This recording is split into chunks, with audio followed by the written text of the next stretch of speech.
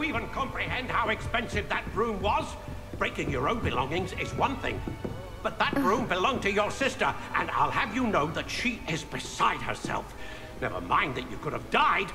No more broom racing for you, and I'd better not hear one more peep Good day!